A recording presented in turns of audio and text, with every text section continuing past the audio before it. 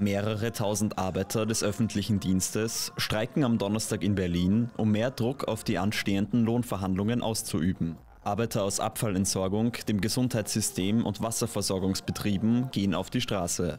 Die Teilnehmer der Demo fordern eine bessere Reaktion der Regierung auf die hohe Inflation und die steigenden Energie- und Lebensmittelpreise.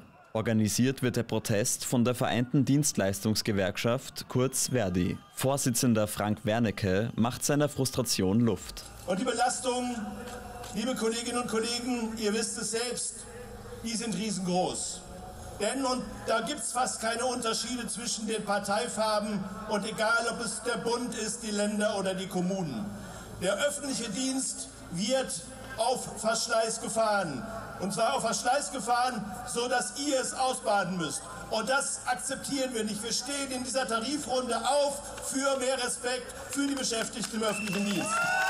Verdi fordert eine Gehaltserhöhung von 10,5 Prozent oder zumindest 500 Euro mehr für ungefähr 2,5 Millionen Arbeiter. Ein Teilnehmer der Demo hat kein Verständnis dafür, dass den Forderungen noch nicht nachgegangen wurde ich sag mal, von dem, was jeder auch hat, halt fordern, dass wir da dementsprechend auch die Löhne anpassen. Ja, darum geht es.